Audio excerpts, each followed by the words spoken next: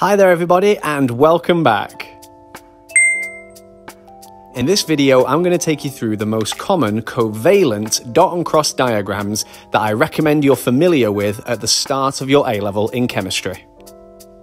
We're kicking off here with a hydrogen gas molecule, which is made up of two hydrogen atoms. Each hydrogen, because it's in group 1, contributes one electron to the formation of the covalent bond, and we pair up electrons between the two atoms like a zip holding them together. Remember for A level, your definition of a covalent bond is a little bit more complex.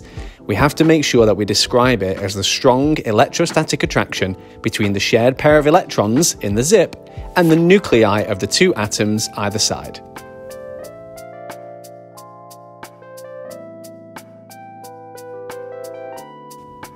Our next molecule is that of HCl, which you should recognise as hydrochloric acid. Here we've got our hydrogen, which remember is from group 1 that we saw in the previous example, but we've also now got an atom of chlorine. Chlorine is in group 7 and therefore it has 7 valence, remember that's another term for outermost, electrons. Now, not all of those electrons are going to be involved in the covalent bond. In fact, we're only going to use one of them because we only pair up one of our electrons from the chlorine with the one electron that the hydrogen was able to contribute to the covalent bond.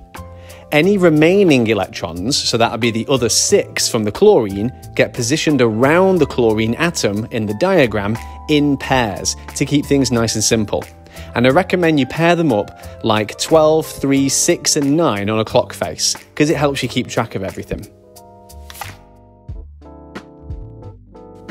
Our next example is H2O, and it's the first example that we've got so far which has a central atom surrounded by multiple other atoms. Here, the oxygen is central and it's surrounded by the hydrogens.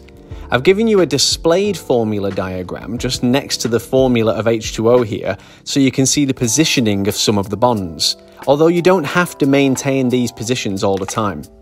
Each line in a displayed formula diagram represents a dot and a cross in a dot and cross diagram.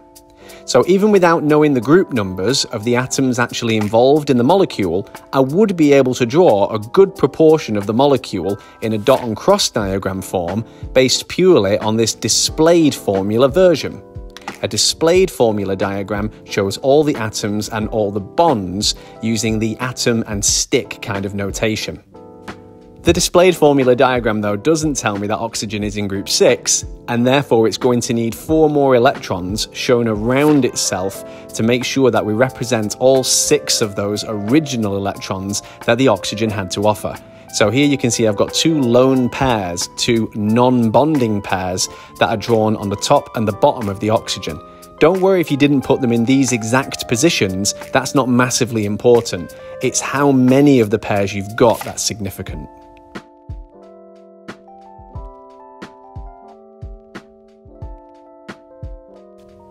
On screen now, I'm taking you through our final example for this page, which is CH4, a molecule of methane. Look at how I position the electron pairs between the atoms all the way around, and try and be as consistent as this with your diagrams.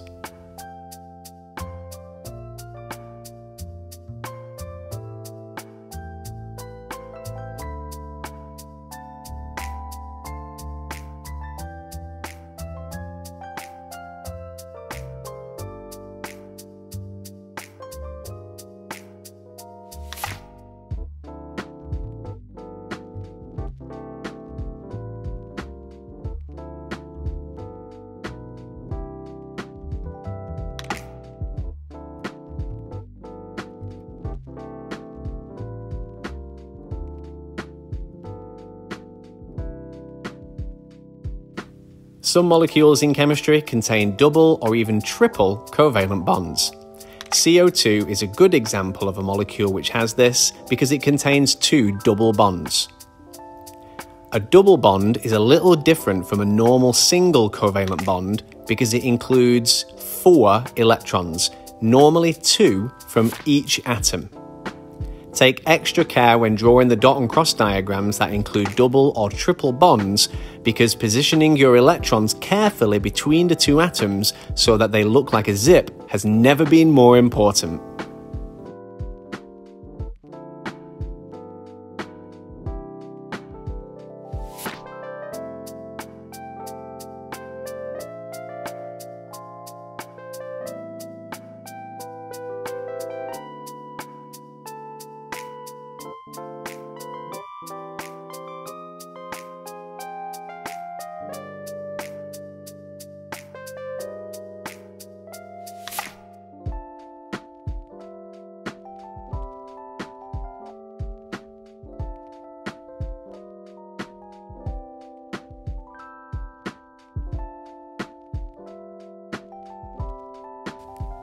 Once you've got your bonding pairs of electrons sorted, don't forget to refer back to your atom group numbers from the structure to add in any non-bonding pairs. For example, your oxygens here were from group 6, and they only contributed 2 electrons each to the formation of the double bonds. So that means you need to put in some more oxygen electrons to finish your diagram. Our final example here is for a molecule of ammonia, NH3. Just to review some of the rules with you, nitrogen is in group 5 on the periodic table, which means nitrogen has got 5 valence or outermost electrons. Three of these valence electrons are going to be involved in bonds with the three hydrogens. However, two of the five electrons form that lone pair that you can see I've labelled up on the displayed formula diagram. It's perfectly fine to leave this lone pair not bonded to anything, and in fact, that's exactly what I want you to do. I've found over the years that people seem to put a random hydrogen onto this for no reason early on in the course, and I'd rather no one fall into that trap this year.